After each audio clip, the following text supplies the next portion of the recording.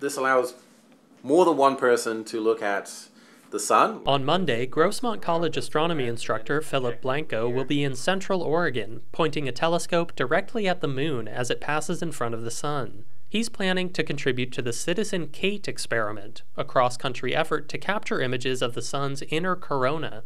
Where he's headed, things could get hectic, but Blanco says it'll be worth it. I don't like the crowds. I'd rather be in the middle of a field somewhere. Uh, but there is that feeling of uh, doing an expedition, overcoming some obstacles, and working with uh, a team, which is something that we as astronomers love to do. After the eclipse, Blanco plans to fly back to San Diego just in time to arrive at Grossmont for his first day of classes. San Diego Astronomy Association President Mike Chasin says about a dozen members of his organization will also be traveling to Oregon. But he's heading to Wyoming with his daughter to see his first total eclipse. I've never seen one, so I've heard they're they're really spectacular, and no words or videos will do it justice. You just have to experience it yourself. So having one that wasn't too far away, uh, this just seemed like the uh, the right time to make the trip and check it out.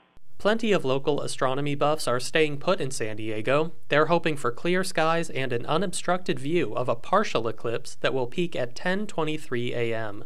David Wagner, KPBS News.